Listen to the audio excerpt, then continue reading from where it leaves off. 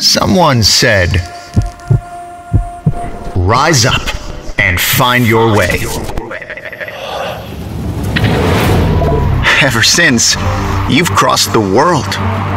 You've known the grace of light and the thrill of darkness. You've been a hunter, a prayer, a sinner, a saint. Always in search of that something. But it was all worth it. But when it happens, it's simply amazing. Because it takes time to be yourself. Welcome to Circuit Festival